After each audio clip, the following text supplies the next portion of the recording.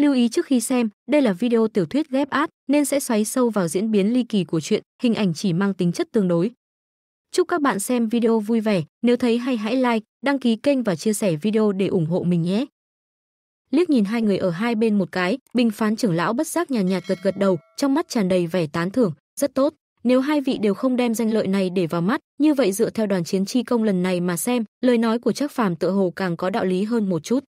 Như vậy lão phu quyết định, lần này Thái Thanh Tông đối chiến với Ma Sách Tông, kết quả đoàn chiến cuối cùng, Thái Thanh Tông nhỉnh hơn một bậc, Thái Thanh Tông thắng. Vừa dứt lời, cả sân thi đấu nhất thời vang lên tiếng vỗ tay như sấm, không chỉ vì người thắng danh nghĩa, Thái Thanh Tông, càng nhiều hơn là cho Trác Phàm, tên ác nhân lỗi lạc này.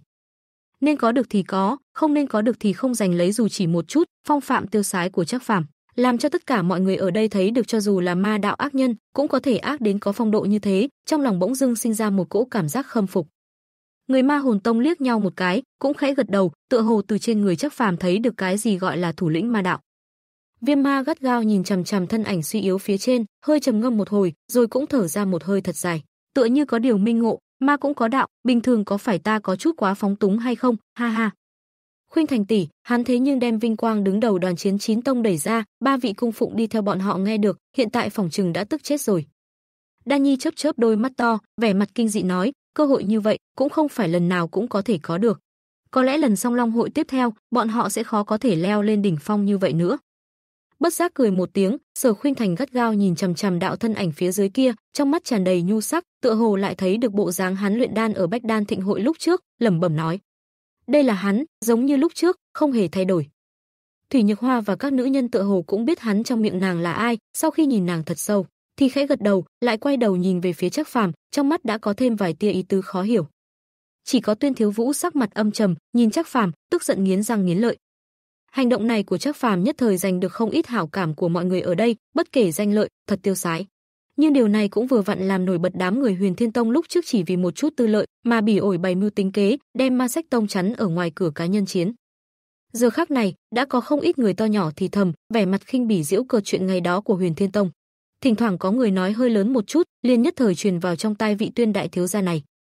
Điều này không khỏi làm cho hắn trong lòng buồn bực muốn chết, nếu luận âm mưu quỷ kế mà nói, chiến trận này của Trác Phàm cũng là giở trò không ít. Mà Huyền Thiên Tông bọn họ chẳng qua chỉ giở trò một lần kia mà thôi. Nhưng kết quả lại là, Trác Phàm trở thành anh hùng chân chính, quang minh lỗi lạc, bọn họ đường đường là danh môn chính phái ngược lại trở thành ngụy quân tử, con mẹ nó, còn có công đạo nữa hay không? Nhưng mà hắn làm sao có thể cảm nhận được, chắc Phàm không phải là người tốt, gian tà giảo hoạt, cũng làm đủ loại chuyện ác, nhưng sau lưng hắn lại có một chữ đạo của mình thì là của mình, không phải của mình thì không đụng tới. Chính vì vậy, người ta đều thấy hắn là một ác nhân quang minh lỗi lạc. Mà đám người tuyên thiếu vũ, rõ ràng là tông môn chính đạo, lại sớm đã lệch khỏi quỹ đạo mà một chính đạo nên có. Cho nên mọi người chỉ có thể cảm nhận được cái loại tanh hôi treo đầu dê bán thịt chó, so với ma đạo càng không biết xấu hổ hơn. Có thể nói, một ác nhân lỗi lạc so với một ngụy quân tử vô sỉ càng đáng giá kết giao hơn nhiều. Dù sao, với loại người thứ nhất mọi người có thể cảm nhận được đạo của hắn, biết nên làm như thế nào để ở chung với hắn ta. Nhưng với loại người thứ hai đã không còn đạo nữa, mọi người không thể nắm bắt được, lo sợ người này tùy thời sẽ đâm một đao vào sau lưng mình, sao có thể yên tâm kết giao.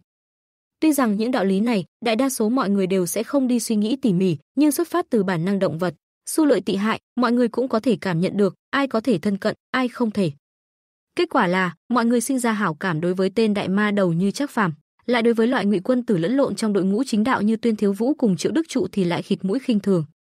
Lão gia hỏa này, làm trưởng lão phán xét song long hội đã năm sáu lần, lần này vẫn là lần đầu tiên lão phu thấy hắn thiên vị như thế. Thái Thanh Tông thắng liền thắng, cái gì gọi là hơn một bậc, ha ha ha. Hắc Nhiêm Chí Tôn nhìn hết thảy phía dưới, đùa giỡn ra tiếng. Bạch Mi Chí Tôn liếc hắn một cái, cũng bất giác cười khẽ nói, lời này của hắn chính là nói vốn trận chiến này là chắc phàm thắng, nhưng ở giữa lại quan hệ đến đoàn chiến. Có 9 người còn lại của Thái Thanh Tông gia nhập, tổng thể thực lực mới cao hơn chắc phàm một bậc mà thôi, cho nên cuối cùng Thái Thanh Tông thắng. Cách nói này, rõ ràng chính là đang nâng cao uy vọng của tên đệ tử ma đạo của ngươi. Ngươi lại mở miệng nói lão gia hỏa này, lão già kia, thiên vị cái đầu nhà ngươi, lão phu còn chưa nói gì, ngươi ngược lại mở miệng trước, ha ha, được tiện nghi lại còn khoe mẽ. Ai, cái gì mà thiên vị cái đầu ta, đến lúc đó chắc phàm vào song long viện, còn không phải là hai lão gia hỏa chúng ta cùng nhau dạy dỗ. Ngươi cũng coi như một nửa sư phụ của hắn, bớt lắm lời đi. Hắc Diêm Chí Tôn còn chưa dứt lời, Bạch Mi Chí Tôn đã trợn trắng mắt, cười nhạo lắc đầu. Hắn nói như thế nào cũng là đệ tử ma đạo, cuối cùng cũng vào cửa ngươi, lão phu có dạy hắn cũng chỉ xem như là phụ trợ. Lại nói tiếp, đệ tử nhập thất chân chính của lão phu, chỉ sợ còn phải là Diệp Lân này. Lần này tuy rằng hắn bại, nhưng dưới tay lão phu dạy dỗ một đoạn thời gian, tất nhiên sẽ có tiến bộ lớn. Đến lúc đó, lão gia hỏa, nhớ rõ ước định của chúng ta đấy. Đương nhiên, hai đệ tử so đấu với nhau một hồi, xem thành quả điều giáo của ai càng chắc tuyệt hơn. Hắc Nhiên Chí Tôn nhướng mày, bất giác cười khẽ lên tiếng. Khẽ gật gật đầu, Bạch Mi Chí Tôn cũng cười nói, "Được, một lời đã định, hai lão gia hỏa chúng ta nhiều năm như vậy bất phân thắng bại, vậy để cho hai tiểu đệ tử này thay chúng ta phân thắng bại đi." Ha ha ha. Hai người liếc nhau một cái, đồng loạt cười to. Ngay sau đó, trưởng lão phán xét nhìn thấy tiếng ồn ào huyên náo xung quanh mình thì không khỏi chậm rãi giơ tay lên, nhẹ nhàng đè xuống, tất cả mọi người đều ngừng nói, toàn bộ hội trường trong nháy mắt an tĩnh lại. Được rồi, Song Long hội chín tông Tây Châu từ lúc này đã hoàn toàn chấm dứt. Kế tiếp, chúng ta sẽ bắt đầu thống kê điểm tích lũy cá nhân chiến, đoàn chiến của các tông để quyết định bài danh chín tông trong Song Long hội lần này, cùng với xếp hạng 10 đệ tử đứng đầu Tây Châu. Mắt lạnh nhìn lướt qua tất cả mọi người ở đây, bình phán trưởng lão lớn tiếng hét lớn. Mọi người vừa nghe, sắc mặt bất giác đều trở nên nghiêm túc, trái tim bỗng nhiên căng thẳng. Kết quả song long hội lần này, rốt cục cũng sắp ra lò, mà điều này cũng quyết định lợi ích mà tông môn sẽ đạt được trong tương lai, triển vọng phát triển của các đệ tử tham gia song long hội lần này. Kết quả là, trên mặt mọi người không còn chút thoải mái sung sướng nào nữa, mà là mặt đầy thấp thỏm. Bình phán trưởng lão xoay người, nhìn về phía đệ tử hai tông ở trên đài, đưa tay làm thủ thế mời, "Được rồi, thống kê điểm tích lũy cần một chút thời gian, các ngươi có thể đi xuống nghỉ ngơi trước." Hơi gật đầu, đệ tử hai tông hướng bình phán trưởng lão đồng loạt cung kính ôm quyền, rồi liền tự mình trở lại khu nghỉ ngơi của mình. Đi tới khu nghỉ ngơi của Ma Sách Tông, Khuê Lang dìu chắc phàm bị trọng thương, thả hắn xuống ghế dựa nghỉ ngơi. Dương Sát chậm rãi đi tới bên cạnh hắn, trên mặt quả nhiên có chút u oán nhìn về phía hắn, bĩu môi nói, "Ta nói này, chắc quản gia, trận chiến cuối cùng này, ngài không đánh thắng thì thôi, tại sao đánh thắng còn đem thành quả thắng lợi đẩy ra ngoài?" Ngươi có biết danh vị đứng đầu đoàn chiến chín tông này có thể cộng thêm bao nhiêu điểm vào chiến quả của toàn bộ tông môn ở Song Long hội không? Hai vị cung phụng còn lại nghe được, cũng có chút bất đắc dĩ, thở dài một hơi, tựa hồ cũng vì vinh dự ngàn năm có một này, từ trong tay xẹt qua mà cảm thấy thiệt thòi lớn. Đại ca, vừa rồi ngài nói một câu, để cho Thái Thanh Tông làm người thắng thì rất là ngầu lòi đấy, nhưng ngươi biết lòng ta đau đớn bao nhiêu, tông môn tổn thất lớn bao nhiêu. Có lẽ bởi vì trận thắng này, chúng ta liền có thể từ hạ Tam Tông thượng trung Tam Tông, từ trung Tam Tông thượng thượng Tông từ thượng tam tông trực tiếp lên thiên quốc, ngươi có nguyện ý hay không? Dương Sát còn chưa nói xong, chắc Phàm đã hừ lạnh một tiếng, khinh thường bĩu môi, giận dữ quát. Không khỏi sừng sốt, Dương Sát vẻ mặt nghi hoặc, không hiểu ý. Chắc Phàm lại bất đắc dĩ trợn trắng mắt, thở dài thành tiếng, súng bắn chim đầu đàn, Ma Sách Tông chúng ta vốn là một trung tam tông nho nhỏ, đột nhiên chiếm được vị trí đứng đầu đoàn chiến chín tông, ngươi không cảm thấy rất nguy hiểm sao? Thân thể mập mạp nhịn không được run lên, ba người Dương Sát tựa hồ đã hiểu được cái gì, sắc mặt cứng đờ, thân sắc dần dần ngưng trọng lại. Làm người thì phải tự hiểu lấy mình, tông môn cũng vậy. Không có đủ thực lực, lại thừa nhận danh vị lớn như vậy, kết quả cuối cùng chỉ có một đường hủy diệt. Ánh mắt hơi híp lại, chắc phàm nhìn về phía trưởng lão phán xét ở phía xa xa đang cùng hai vị trưởng lão giữ cửa nhanh chóng tính toán tình huống tích lũy của các tông. Hít sâu một hơi, sâu kín lên tiếng, kỳ thật đứng ở trên lợi ích tông môn mà nói, ta không hy vọng danh vị Ma Sách Tông ở Song Long hội tăng quá nhanh. Phúc họa đi cùng, họa tới phúc cũng tới. Thực lực của Ma Sách Tông còn quá nhỏ yếu, không chịu nổi vị trí cao như vậy, nếu không sẽ chính là cái đích cho mọi người chỉ trích, không phải chuyện tốt. Đồng tử hơi run lên, Dương Sát vội vàng gật gật đầu, đồng ý nói, đúng đúng đúng, ta hiện tại rốt cục hiểu được dụng tâm lương khổ của ngươi. Hiện tại ta mới phát hiện, vị trí khôi thủ chín tông này, chúng ta đích xác không thể đạt được, nếu không quá nguy hiểm. Ai, ngươi nói xem, ta đường đường là cung phụng của tông môn, sao lại có ánh mắt thiển cận như thế, thật sự là bị danh lợi làm cho choáng váng, đáng chết. Chắc phàm, may mắn lần này song long có ngươi chủ trì đại cục. Vội vàng lau chán mồ hôi lạnh, Dương Sát thổn thức một trận. Hai vị cung phụng còn lại cũng bừng tỉnh đại ngộ, sợ hãi gật gật đầu. Bọn họ dĩ nhiên có thể tưởng tượng được, sau khi bọn họ đạt được vinh dự lớn lao kia, nhất định sẽ bị tất cả các tông môn cừu hận, vậy cuộc sống sau này của bọn họ cũng không dễ chịu. Đồng thời, ánh mắt mọi người nhìn về phía Trác Phàm cũng tràn đầy kính nể. Khó trách lần tham chiến song long hội này, tông chủ lại cho hắn lệnh bài tông chủ, lệnh thống lĩnh toàn cục, xem ra thật sự là có tiên kiến. Nói đến khả năng quan sát đại cục này, ba vị cung phụng bọn họ hoàn toàn không bằng một phần vạn tiểu tử này. Nghĩ tới đây, ba người bất giác có chút xấu hổ cúi đầu. Có lẽ trước kia, tất cả bọn họ lấy chắc phàm như thiên lôi sai đâu đánh đó, có một bộ phận rất lớn là chịu ảnh hưởng của lệnh bài kia.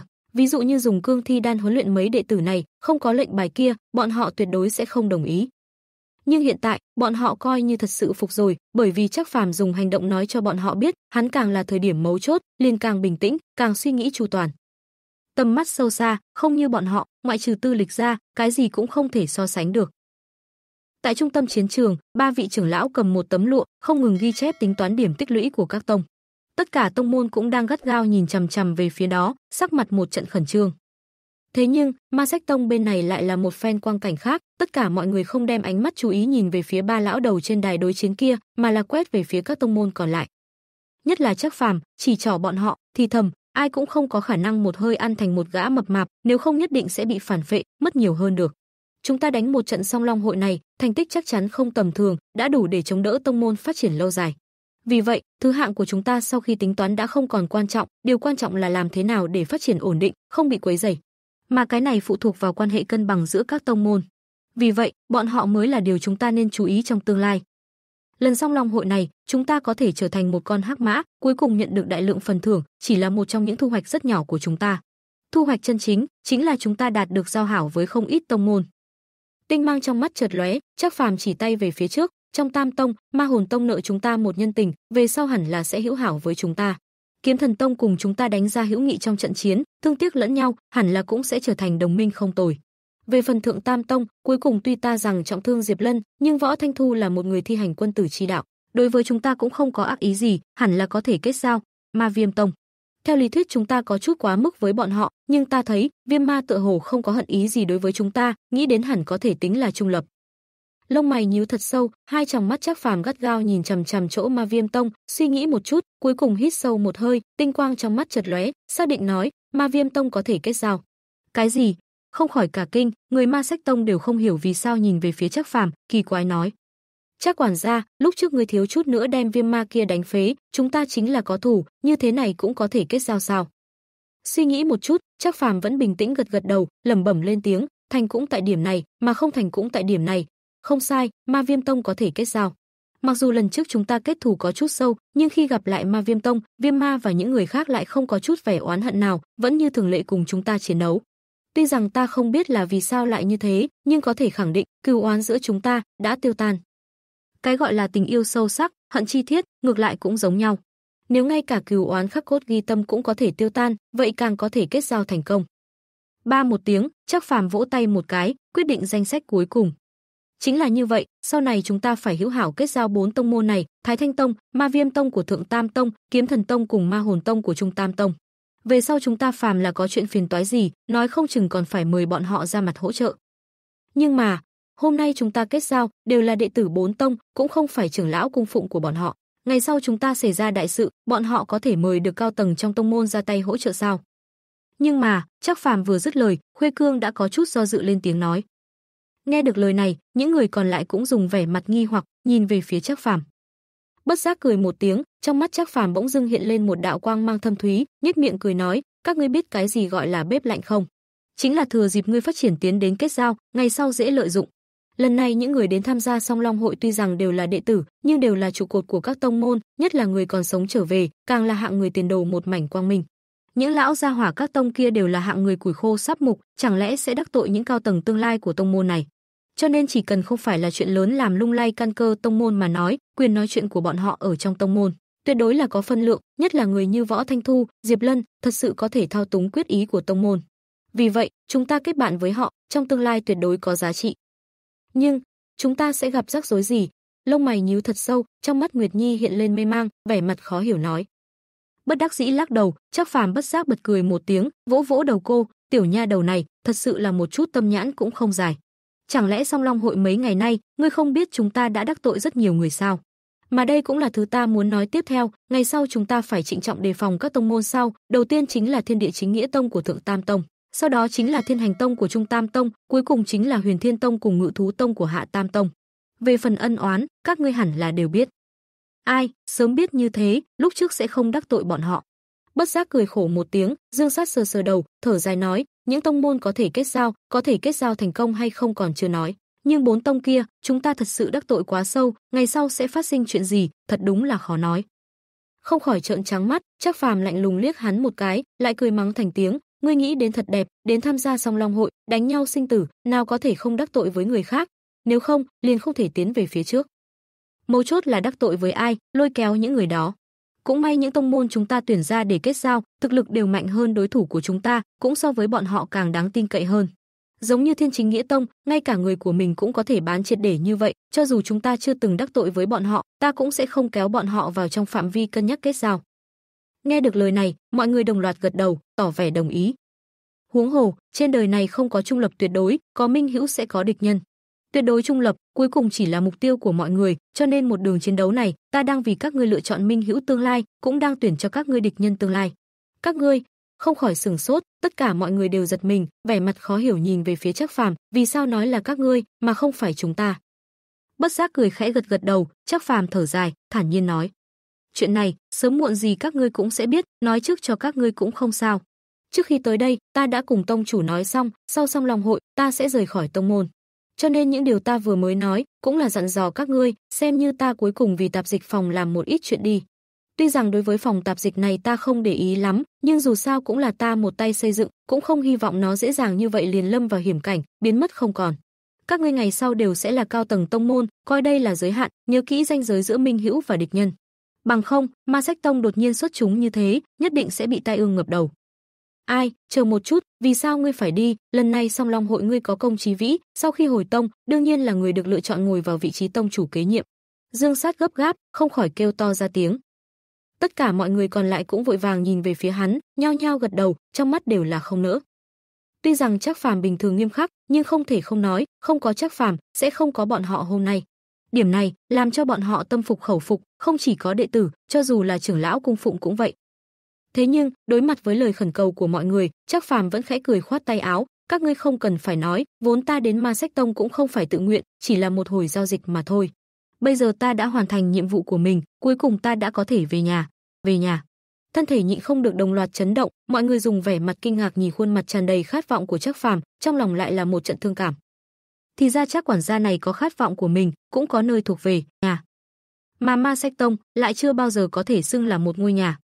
Thở dài ra một ngụm chọc khí, Dương Sát trầm ngâm một chút, cuối cùng gật gật đầu, thở dài nói: "Đã như vậy, chúng ta cũng không tiện cố giữ, nhưng ngươi nhớ kỹ, từ nay về sau, ngươi tuyệt đối không chỉ có một gia đình, tất cả đệ tử, trưởng lão, cung phụng trong phòng tạp dịch Ma Sách Tông cũng sẽ không quên ngươi. Bất cứ khi nào ngươi trở lại, ngươi vẫn là đại quản gia ở đây. Đúng vậy, phòng tạp dịch vốn không có chức quản gia, nhưng từ khi chắc quản gia tới, mọi người vẫn gọi ngài như vậy, nơi đó ngược lại có chút giống nhà. Các sư huynh đệ, giống như huynh đệ ruột thịt, mọi người đồng tâm hiệp lực, sức mạnh như thành đồng, nhất trí đối ngoại. Nguyệt Linh nhìn chắc phàm thật sâu, trong mắt hiếm khi toát ra một tia nhu sắc. Những người còn lại nhìn về phía Trác Phàm, trong mắt cũng tràn đầy ấm áp, khẽ gật đầu. Mí mắt nhịn không được run lên, Trác Phàm tự nhận mình chưa dùng bao nhiêu tâm tư vào nơi này, nhưng chỉ là căn cứ đoạt quyền trong tông mà thôi, nhưng không thể phủ nhận, hắn đã lưu lại một vài thứ ở nơi đây. Từ giúp Nguyệt Nhi khuê cương trọng tố gân mạch, lại thành lập phòng tạp dịch tinh anh, tiếu ngạo nội môn, tất cả đích xác làm cho đệ tử nơi đó ngưng tụ ra một cỗ lực lượng, tự tôn tự ái. Phòng tạp dịch bây giờ, đích thật là nơi hiếm hoi có được lực ngưng tụ, cũng không có khác gì một ngôi nhà, đáng tiếc đây cũng không phải là nơi hắn hướng tới. Mí mắt hơi rũ xuống, chắc phàm hít sâu một hơi, không khỏi lộ ra nụ cười mỉm, hành trình của hắn ở Ma Sách Tông sắp kết thúc. Nhưng bây giờ nghĩ lại, dường như đoạn hành trình này cũng không tệ lắm. Được rồi, điểm tích lũy của chín tông tại Song Long hội đã tính toán rõ ràng, mời hai vị trí tôn nhìn qua. Đột nhiên, đúng lúc này, ba vị trưởng lão trên đài đối chiến liếc nhau một cái cuối cùng, đồng loạt gật gật đầu rồi tách ra. Bình phán trưởng lão khom người bái về phía hai vị trí tôn, hai tay cung kính trình lên một quyển sổ lụa. Khẽ giơ tay lên, Hắc Diêm Chí Tôn đem cuốn sổ kia cầm vào trong tay, sau đó cùng Bạch Mi Chí Tôn tinh tế nhìn một chút, xác nhận không sai, khẽ gật đầu. Thấy tình cảnh này, Bình phán trưởng lão trong lòng hiểu rõ, lập tức xoay người nhìn về phía chín vị trí chung quanh, lớn tiếng quát: "Xếp hạng của chín tông tại Song Long hội cuối cùng đã xác định, mời đệ tử chín tông lên đài, kính nghe Chí Tôn đại nhân tuyên bố kết quả." "Vâng." TT Tề khom người ôm quyền, đệ tử chín tông vẻ mặt nghiêm trang, bước chân trang nghiêm đi lên đài, về phần bệnh nhân trọng thương như chắc phàm, cũng được đỡ vai đi tới, nghe kết cục cuối cùng này. Ai có thể cười ngạo chín tông, ai sẽ trở thành đáy, thứ tự đảo lộn, đấu chuyển tinh di, đều ở trên một tờ giấy trong tay song tôn. Lông mày cau lại thật sâu, tất cả mọi người dùng vẻ mặt khẩn trương nhìn chằm chằm về nơi cao nhất trên đài. Quan sát vật trong tay Hắc Nghiêm Chí Tôn, ưng ực một tiếng, nhị không được nuốt nước miếng, đầu ào ào chảy mồ hôi nóng một đôi tay nắm lại gắt gao, móng tay đều sắp nhét vào trong da thịt. Nhưng chỉ có người ma sách tông, trên mặt lại bình tĩnh dị thường, thậm chí có chút thương cảm. bởi vì bọn họ đã không quan tâm đến bài danh cuối cùng này, chắc Phàm nói rất đúng, với nội tình hiện tại của Ma Sách Tông, không nên xếp hạng quá cao, nếu không sẽ quá nguy hiểm. Nếu không có kỳ vọng, cũng sẽ không căng thẳng. Bọn họ hiện tại chỉ cảm thấy bi thương khi người dẫn dắt bọn họ, chắc Phàm muốn rời đi. Bài danh chín tông tại Song Long hội hiện tại công bố. Đem cuốn sổ lụ kia bày ra trước mắt, Hắc Nhiêm Chí Tôn không khỏi hắng giọng, thản nhiên mở miệng nói, đầu tiên, đúng cuối hạ Tam tông, Ngự thú tông. Thanh âm của Hắc Nhiêm Chí Tôn vang vọng bên tai mọi người, mọi người bất giác đồng tâm cười nhạo một tiếng, từ chối cho ý kiến, đã sớm đoán được. Một tông môn Hạ Tam tông vừa mới khai cuộc, liền bị chắc phàm một quyền miểu sát, một điểm cũng không được tính, sau đó còn từ bỏ quyền, tất cả đều là điểm tiêu cực.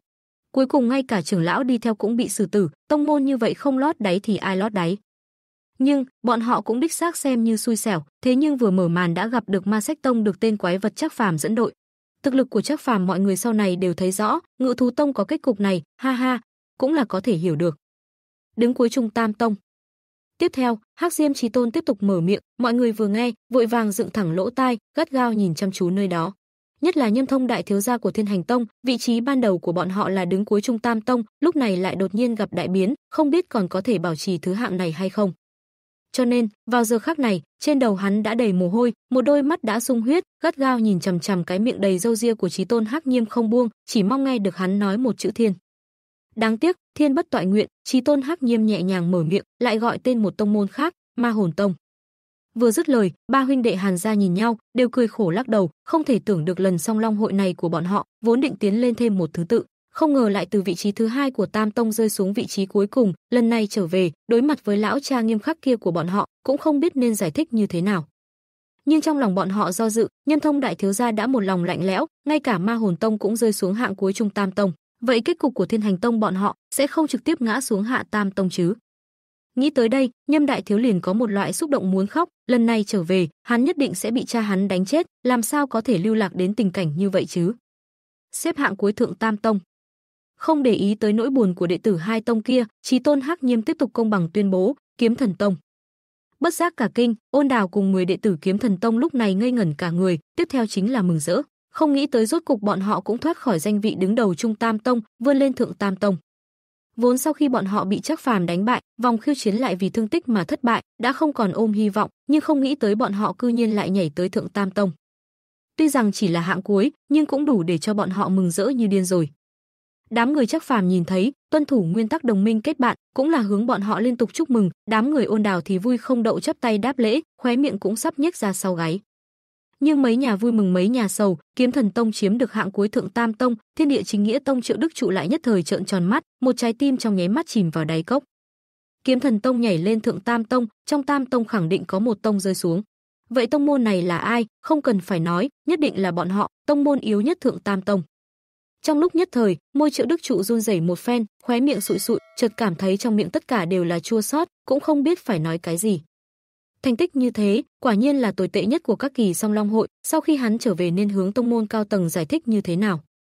Liếc mắt nhìn hắn một cái, Chí Tôn Hắc Nhiêm bất giác lộ ra một bộ mặt cười nhạo, tiếp theo liền tiếp tục nói, kế tiếp, vị trí thứ hai hạ Tam Tông, Huyền Thiên Tông. Lỗ tai khẽ động, Tuyên Thiếu Vũ cùng trưởng lão nhà mình liếc nhau một cái, cũng là không bi không vui thở ra một hơi. Dù sao kết quả này cũng không khác gì bình thường. Chỉ là mục tiêu muốn đứng đầu hạ Tam Tông của bọn họ cũng không có đạt được. Về phần bọn Sở Khuynh Thành, lại tựa hồ cũng không quan tâm điểm này, mà là song song mỹ mục gắt gao nhìn chăm chú vào chỗ Trác phàm. Tựa hồ bài vị của Ma Sách Tông so với bài vị bản tông bọn họ còn quan trọng hơn. Trung vị Trung Tam Tông, Thiên Địa Chính Nghĩa Tông. Hít sâu một hơi, Chí Tôn Hắc Diêm tựa hồ cố ý nhìn Triệu Đức trụ một cái, sau đó mở miệng lớn tiếng quát ra. Lần này, toàn trường xôn xao, đường đường là một tông môn tại Thượng Tam Tông, lần song lòng hội này chẳng những không bảo vệ được địa vị của Tam Tông, cư nhiên còn rơi xuống, ngay cả vị trí đường đầu Trung Tam Tông cũng không thể bảo trụ, trực tiếp rơi xuống vị trí thứ hai Trung Tam Tông. Đả kích như vậy, nghĩ đến khi Thiên Địa Chính Nghĩa Tông cao tầng nghe được, nhất định sẽ điên luôn. Nhưng, Thiên Địa Chính Nghĩa Tông cao tầng có thể điên hay không, mọi người không biết, nhưng sau khi nghe được tin dữ này, Triệu Đức Trụ đã là người đầu tiên điên cuồng, không thể tưởng tượng nổi kêu to. Chờ một chút, Chí Tôn đại nhân, đây là chuyện gì đã xảy ra? Thiên Địa Chính Nghĩa Tông ta chính là Thượng Tam Tông, sao có thể rơi xuống đến tình trạng như vậy? Hừ hừ hừ, đây cũng phải hỏi kỳ mưu diệu sách của ngươi. Bất giác cười một tiếng, Chí Tôn Hắc Diêm từ chối cho ý kiến khinh bỉ nói, khi ngươi cùng Ma Viêm Tông và Thái Thanh Tông đối chiến, vì bảo lưu thực lực, bỏ cuộc quá nhiều, căn bản không có lấy được bao nhiêu điểm tích lũy. Tại vòng khiêu chiến của Tam Tông, ngươi lại bại trước Ma Sách Tông, cuối cùng điểm tích lũy của tông môn các ngươi liền rơi xuống ngàn trượng, vừa vặn xếp trên tại vị trí trung vị Tam Tông này. Thân thể nhịn không được run lên, Triệu Đức Trụ không thể tin, thân thể chấn động, đúng là thất thần đặt mông ngồi trên mặt đất, trong mắt tất cả đều là vẻ kinh ngạc, lẩm bẩm, làm sao có thể? Tích lũy của Thượng Tam Tông đối chiến, so với Trung Tam Tông cùng Hạ Tam Tông tích lũy nhiều hơn nhiều, làm sao có thể so ra kém? Ngươi nói không sai, tích lũy của Thượng Tam Tông nhiều, đó là bởi vì thực lực của đệ tử Thượng Tam Tông mạnh. Nhưng tương ứng, số điểm khi từ bỏ quyền thi đầu sẽ bị khấu trừ nhiều hơn. Tinh mang trong mắt chợt lóe, Bạch Mi Chí Tôn lạnh lùng lên tiếng, "Ngươi nhà, chính là bài mưu tính toán quá thông minh, mới rơi vào tình trạng như vậy. Hy vọng lần trở thành trung tam tông này có thể khiến cho ngươi cùng toàn bộ tông môn phía sau ngươi đều tĩnh tâm lại, hảo sinh ngộ đạo, không cần lây nhiễm những danh lợi tính kế thế tục kia. Phải biết rằng, đọ sức trên tâm trí là một thanh kiếm hai lưỡi. Tính toán không tốt, sẽ tính toán lại chính mình. Tu giả vô dục tắc cương, mới thành đại đạo. Đồng tử hung hăng co rụt lại, Triệu Đức Trụ ngồi ngây ngốc trên mặt đất một mảnh mê mang, cũng không biết hắn nghe được bao nhiêu phần lời trí tôn dạy dỗ. Bất đắc dĩ lắc đầu, hai vị trí tôn cũng không quản hắn, trí tôn Hắc Nhiêm tiếp tục nói, vị trí thứ hai thượng tam tông, Ma Viêm tông. Khẽ gật gật đầu, Viêm Ma cùng các đệ tử còn lại liếc nhau, đều thở dài. Cũng may, bọn họ còn nằm trong danh sách thượng tông, không lên không xuống, bảo trụ thứ hạng. Bọn họ thật đúng là sợ lần này bị con hắc mã ma sách tông kia đột kích, đem bọn họ ép xuống, vậy liền lớn rồi. Như vậy bây giờ, công bố các tông môn đứng đầu. Cuối cùng, sắc mặt Hắc Diêm Chí Tôn nghiêm túc, cuối cùng phải tuyên bố thứ hạng của ba tông cuối cùng. Trong lúc nhất thời, tất cả mọi người đều ngưng mi chú ý, nín thở ngưng thần, lặng lặng dựng thẳng lỗ tai lắng nghe. Đứng đầu hạ Tam tông, Thiên Hành tông. Thanh âm của Hắc Diêm Chí Tôn truyền khắp bên tai mọi người, cũng truyền đến lỗ tai Nhậm đại công tử kia. Mặc dù đã sớm có dự liệu, nhưng chân chính nghe được Chí Tôn công bố ra kết quả này, Nhân Thông vẫn là trước mắt tối sầm, thân thể hơi run rẩy, có loại xu thế muốn té ngã. Đả kích như vậy, hắn thật sự là rất khó thừa nhận. Bỗng dưng, nhâm Thông quay đầu hung hăng chừng chắc phàm một cái, nghiến răng nghiến lợi. Tất cả những chuyện này đều do tiểu tử này, bổn công tử sẽ không bỏ qua cho ngươi. Hừ hừ, ngươi chờ đó cho ta, chờ ngày ngươi xảy ra chuyện. Tinh mang trong mắt chợt lóe, trong lòng nhâm Thông tựa hồ biết cái gì đó, đang không ngừng tính toán. Đứng đầu Trung Tam Tông, Ma Sách Tông. Rốt cục, Hắc Diêm Chí Tôn gọi ra danh hào Ma Sách Tông, nhưng chắc phàm cùng các đệ tử liếc nhau một cái, tất cả đều mỉm cười, không vui không sợ. Điều này không khỏi làm cho tất cả mọi người ở đây đều sừng sốt, cho dù là hai vị chí tôn cũng là trong mắt tản ra kỳ sắc, Ma Sách Tông này có hàm dưỡng như thế sao? Từ Tam Tông hạ nhảy lên đứng đầu Trung Tam Tông, mặc dù đã sớm đoán được, nhưng chân chính nghe được kết quả này, còn có thể bảo trì bình tĩnh như thế, thật sự không đơn giản. Hay là nói, cái này so với kỳ vọng của bọn họ thấp hơn, bọn họ vốn muốn lên thượng Tam Tông. Thế nhưng, bọn họ nào biết được, tâm tình kích động của các đệ tử Ma Sách Tông sớm đã bị nỗi buồn sắp rời đi của Trác Phàm chôn vùi. Chắc Phàm là người một đường đem bọn họ không tổn hao gì đến nơi này, hiện tại hắn muốn rời đi, mặc dù có kinh hỉ lớn hơn nữa, mọi người cũng không cao hứng nổi. Bất đắc dĩ nhún nhún vai, hai vị trí tôn cũng là trượng nhị hòa thượng sờ không thấy tóc, liền không quản nữa. Tiếp theo, Hắc Diêm Chí Tôn tuyên bố danh vị cuối cùng mà mọi người đều đã biết, đứng đầu Thượng Tam Tông, Thái Thanh Tông. Vương giả chân chính trong chín tông tại Tây Châu, Thái Thanh Tông chưa bao giờ thất bại ở Song Long hội, lúc này đây cũng vậy. Nhưng, tất cả mọi người, bao gồm cả đệ tử Thái Thanh Tông, tất cả đều biết rõ, lần này bọn họ có thể bảo trụ vương vị này là giật gân cỡ nào. Liếc nhìn chắc phàm thật sâu, Vũ Thanh Thu bất giác thở dài, lẩm bẩm thành tiếng, ai, hy vọng song long hội sau này, đệ tử tông ta không gặp phải loại quái vật này nữa. Nhẹ nhàng lau đi mồ hôi lạnh trên trán, Vũ Thanh Thu tựa hồ còn kinh hồn bất định, ánh mắt nhìn về phía chắc phàm lóe lên vẻ kiên kỵ. Rốt cục, bài vị chín tông giờ phút này đã hoàn toàn xác định, kế tiếp chính là chuyện mà tất cả tông môn đều chờ mong chỉ có Song Long viện ở Song Long hội mới có thể ban thưởng, phân phát thánh linh thạch.